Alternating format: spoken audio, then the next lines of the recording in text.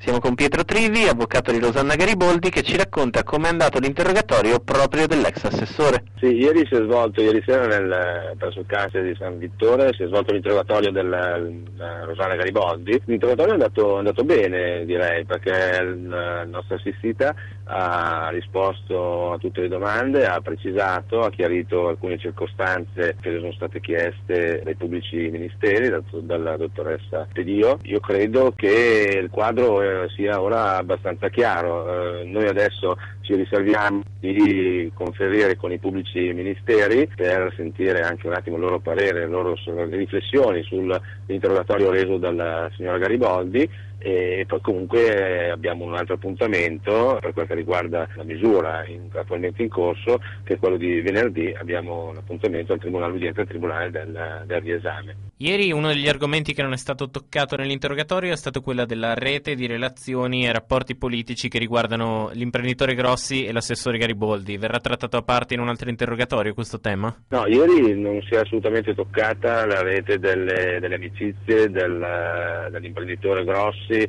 e dell'assessore Gariboldi con eh, eventuali altre persone coinvolte che potrebbero essere coinvolte o toccate dalle, dalle, dalle indagini. Ieri si è parlato esclusivamente della, dei fatti contestati alla signora Gariboldi, cioè del riciclaggio. Nessuna domanda è stata fatta dai pubblici ministeri né eh, per che riguarda altri imprenditori né per quel che riguarda eh, eh i politici o ambienti politici. Cioè, l'inchiesta mh, per quel che riguarda noi e per quel che interessa a noi e per quello che i pubblici ministeri hanno chiesto alla signora Gariboldi è strettamente legata alla sua persona e non riguarda ambienti politici.